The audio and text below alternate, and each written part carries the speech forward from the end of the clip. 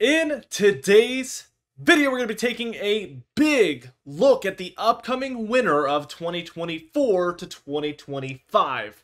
We're going to be somewhere between a colder neutral ENSO, which is neither a La Nina or El Nino, it's kind of in between, or a La Nina. We're going to be comparing what that kind of difference would mean. We're taking a look at the history of both of those and what that will likely mean here, especially in the central states where both would spell usually cooler temperatures than normal, but even extending eastward, taking a little bit of a look at the precipitation, which is very similar between the two of them, and we're still going to be taking a look at a little bit of modeled guidance, updated model guidance for the upcoming winter, so there's a whole lot to break down today for you cold and snow lovers. Let's just dive into things, taking a look here at the monthly temperature analogs and this model here the CFS model does have a warmer November unless you're in the mid-Atlantic or northeast where there is some cooler temperatures around warmer across the central states. But really what I want to talk about here is December which looks very similar. Uh, December showing cooler temperatures here which is highly believable at least for those areas because of how you know August September October has gone where we've seen cold want to linger around these areas the kind of northern southeast through the mid-Atlantic and even into the northeast uh, could be colder than this for other areas, but at least in that northeast corridor, I do find this to be highly believable.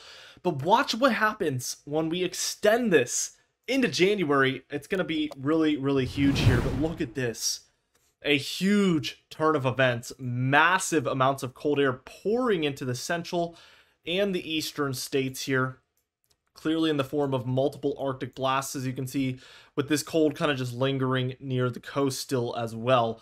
Very interesting, very intriguing, and along the lines of what we're going to see, what history would tell us. History would support this as far as the type of ENSO pattern that we're moving into.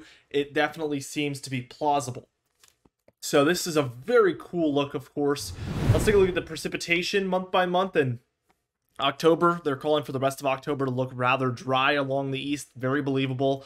Uh, November, same thing, unfortunately. We do see quite a bit of precipitation out west and the south central states seeing some activity in the month of November. But what I really want to talk about today is this December timeframe where we start to get some storms moving through the southeast corridor, which could be interesting.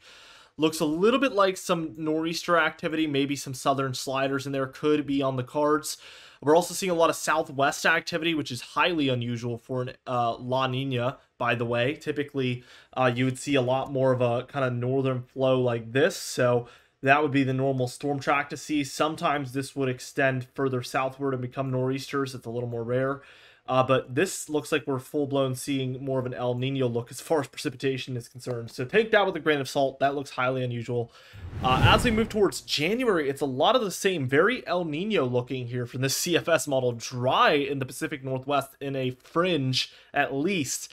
La Nina event. So we're seeing this basically get shut down. And then we see the Southwest, it's game on. And we see a lot of the Southeast slider or even uh, nor'easter activity in some cases, and it looks like a lot of these want to kind of cut through the plains as well. So we're seeing some of that action. But look at the southern jet stream in play here by the CFS model. I'm going to remember this, and if this ends up happening, it's going to be huge kudos uh, to the CFS model, of course, because that's a very bold prediction for anything to really be calling for during, again, at least a fringe La Nina event. We're at least going to be on the cooler side of a neutral ENSO, which would still uh, inherit a lot of those La Nina type characteristic characteristics at the very least.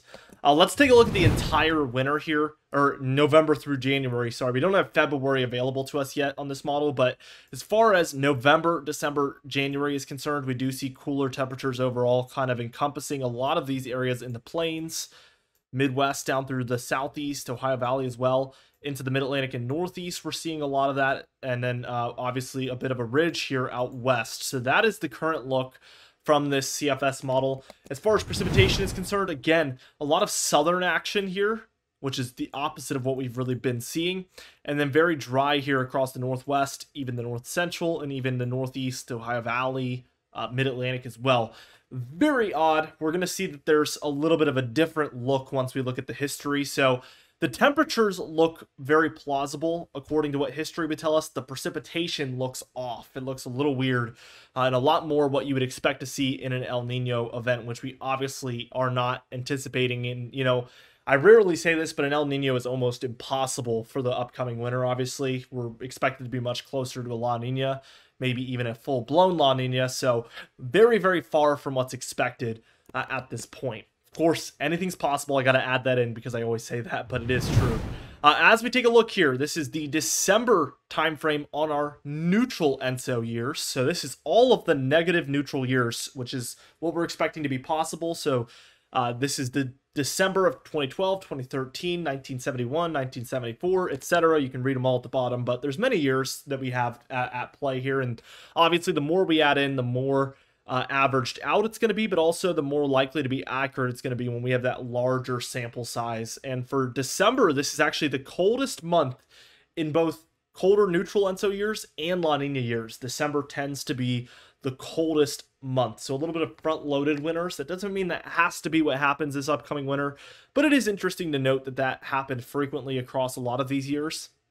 This looks a lot like the January forecast that we just saw from the CFS model where we have this really, really intense Arctic uh, kind of motion happening here from Canada into a lot of the Midwest, Northern Plains, Ohio Valley. And there is some lingering cold to go around for the East and for the South Central states as well, just not quite as intense. For reference, I'm going to reference this in the beginning so that I don't have to do it later, but a lot of the past four or five winters, as long as I've been doing YouTube, uh, this area here overall, not everywhere literally, but pretty much, has been in either the yellow or the red, not just for monthly anomalies, but for the whole December through February anomalies. So if you're anything below yellow or red here, you're basically seeing a cooler winter than the previous four or five winters. So even if you're in like the greens or just the white, so the greens or the white, so if you're talking like these areas here, that's still much more promising than anything we've seen in recent years. I just want to add that disclaimer. Obviously, I know a lot of you probably want to be in the blue or the purple, but you don't even have to see that to have a much more decent winter than what we've been seeing.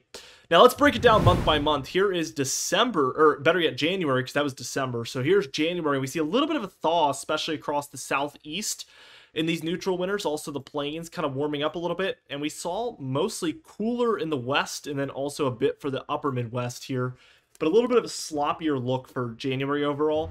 And then here is February, where we get back to a lot of this Arctic flow happening for the Midwest, Northern Plains, and also the Northwest, with a really intense southeast ridge. So we see more of this kind of a flow here in the February of those years. And I know a lot of you are not hoping for this, but again, for the entire December, January, February timeframe, we saw mostly reds or you know deeper oranges or at least yellows over the last few winters. So if you're in the greens or these very light yellows, this is still a cooler winter uh, than any of them that we've seen recently.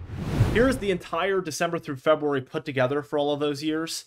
And what we see is a slight southeast ridge trending in for these uh, colder neutral ENSO years much cooler from the Pacific Northwest through into a lot of obviously Western and Central Canada. Uh, but not only that, this does stretch down into the Midwest and plains, and we do see the Mid Atlantic and Northeast also in the blues here. Uh, again, it's a lot cooler than what we've been seeing, and even these areas, this would be a lot cooler than what we've seen in recent years. Precipitation in these neutral ENSO, but you know, cooler neutral ENSO years looks pretty much like this: wetter in the Northwest, wetter across the Great Lakes and Northeast here, indicating more of a flow uh, through this northern stream as far as storms are concerned, with basically the southwest, south central, and southeast being kind of shut down with a lot less frequent storms moving through. Again, a very, very different look than what we saw in that CFS model, so that's why I'm so shocked to see that from that CFS model. This is classic La Nina, or at least colder neutral ENSO look here.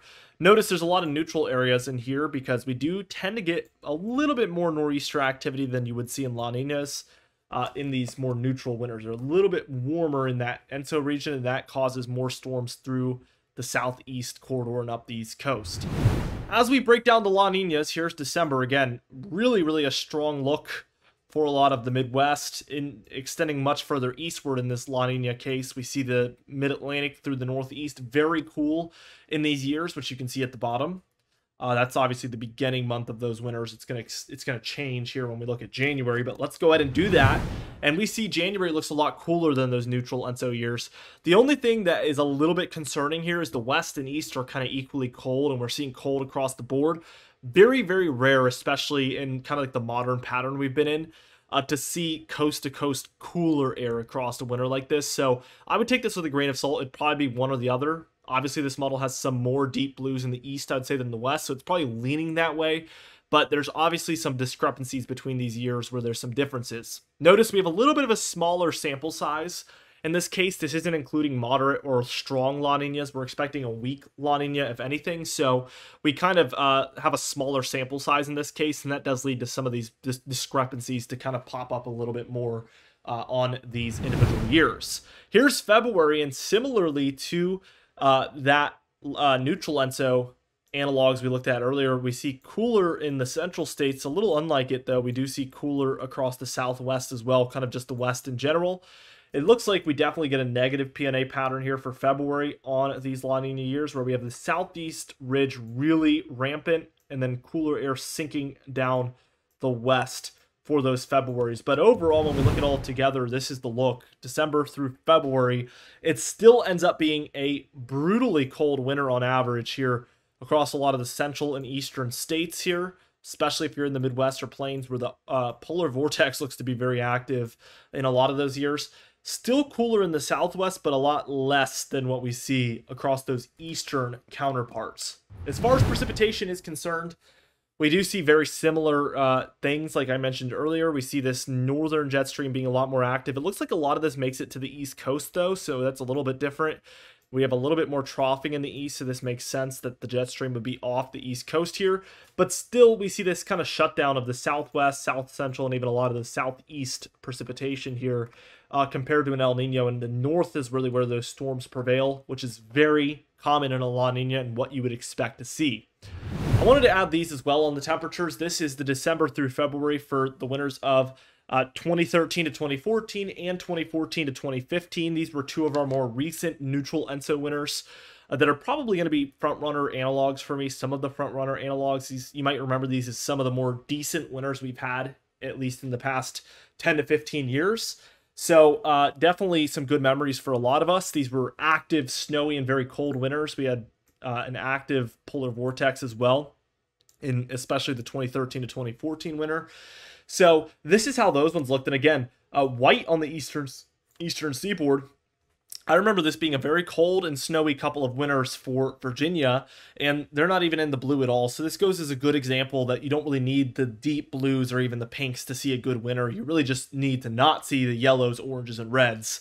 Uh, if you're anywhere near normal or slightly below normal, you're going to be in really, really good shape uh, for a winter that likely will be a lot less disappointing for you cold and snow lovers than the last, like I said, four or five. So just a lot of insight. Uh, we're going to have more information, obviously, as we move into November. We're getting awfully close to the winter, so our final thoughts are kind of coming together here. I want to see how these models update, you know, once we're moving into November and they have a much better idea and also updates in the ENSO. So there will be a few more updates, probably even another winter forecast video coming soon.